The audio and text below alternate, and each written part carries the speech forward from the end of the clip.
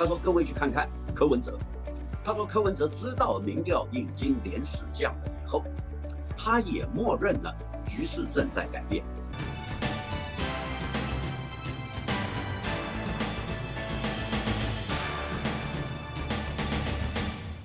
各位观众，大家好，我是有话直说的主讲人张友华。现在已经确定，八月二十六号，大家都已经知道，八月三十号就是郭台铭，他要召集侯友谊跟柯文哲坐下来好好的谈一谈。时间在八月三十号，地点在台北。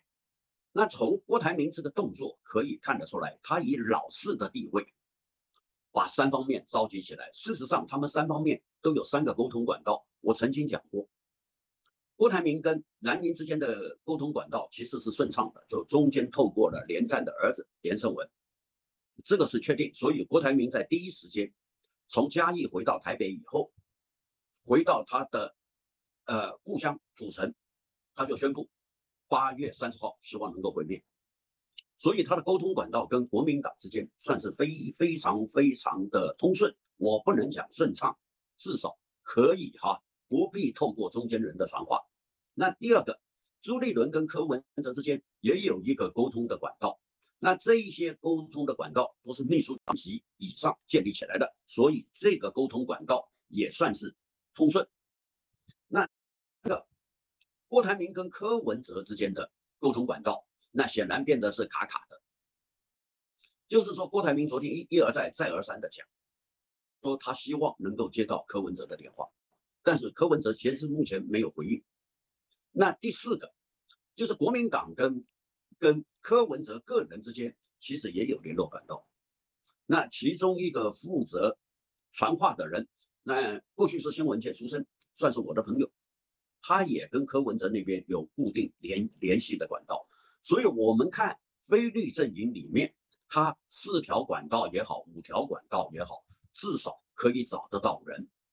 但是不接电话，真正的原因就是柯文哲怕郭台铭扮猪吃老虎，所以柯文哲他还在考虑。那侯友谊已经确定了，说我们可以见面。那过去的事，郭台铭认为是不必再谈。现在郭台铭在八月三十号约定他们见面，其实讲的难听一点，就是以战破降，因为中间一个非常关键人物已经退出了。他为什么退出？他亲口告诉，他说我的视频他看到，他说我讲的部分不太正确，他现在就给我指出来。侯友谊现在是顾基本盘，所谓顾基本盘，他时间他都不够，但是他说这个预期并不理想。他说你看他只是顾基本盘而已，没有向外开展的能量，向外开展的能量被柯文跟郭台铭给堵死了。那现在他顾基本盘，那总算有一个突破口。这个突破口虽然是小小的突破口，但是各位去看侯友谊基本盘，他希望估完基本盘以后对外发展。他说这个是侯友谊现在的打法。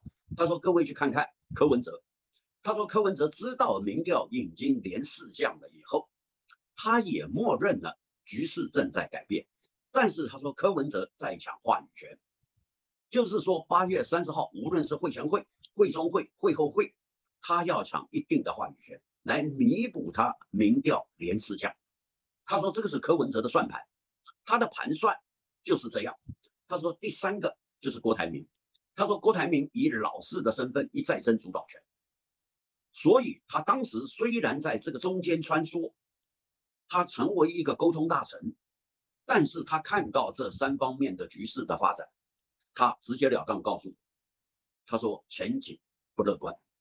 他说八月三十号，他说正如我在视频上面讲的，如果这一场会没有谈出任何结果的话，反而影响选情更加剧烈。那换句话说，他们认为说，希望这个会能够一举解决四个月的纷扰。但是这位沟通大臣直截了当跟我说，其实他说那我分析的对，如果沟通成当然最好，如果沟通不成的话。他说：“菲利阵营的选情大概会一泻千里，这个是他跟我讲的一个结果。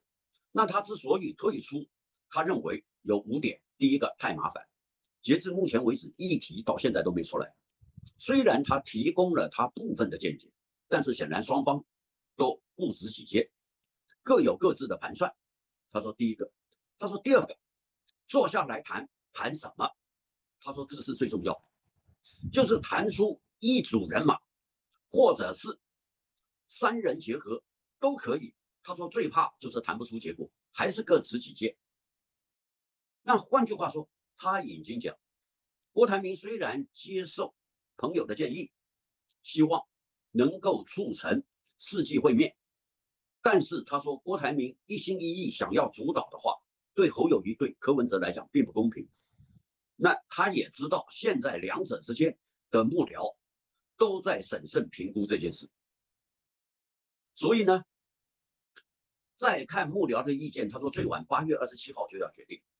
但是他说剩下一天半的时间，他并不看，这个是第二个。那第三个，坐下来谈什么问题？他说议题的合作比较容易，但是谈人事上的安排非常的困难。一个要顾基本盘，一个要抢话语权，一个要争主导权。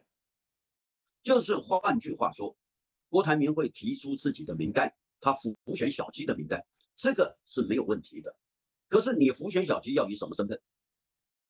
这个就成为大问题嘛，所以他同意我的见解。他说这三个人当中必须一个退出来以后，两个才能够携手合作。他说否则一个不退，老争主导权的话，他说另外两个民调比他高的，怎么可能服气？他说这个是第三个。他说第四个，他说政治是一场投资的事业，是看长期不能看短期的。但是你。把这个世纪之会当做一个短期炒作而为自己的话，他说这个会绝对开不了。他说你看侯友谊，他他的包袱就是说四大公投支不支持韩国瑜，你的核能政策，还有你对地方派派系的看法。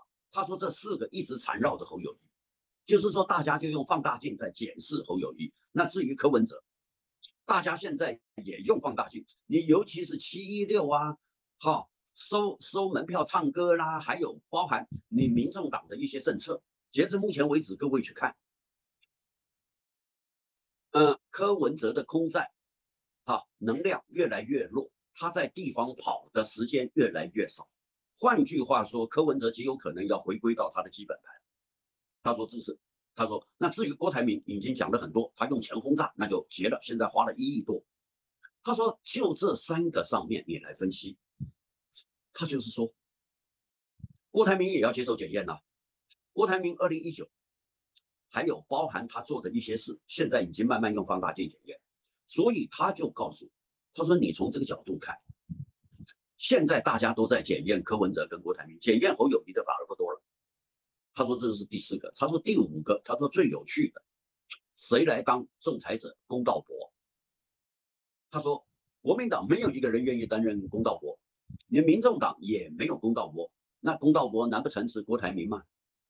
所以他说这个世纪会面，他的前景他并不看好。还有另外一个重要的原因，就是大家经常讲的，你们三个人什么时候合作，时间已经不多了。如果这次会面是一个非常坏的会面的话，尔后的会面就不必谈了。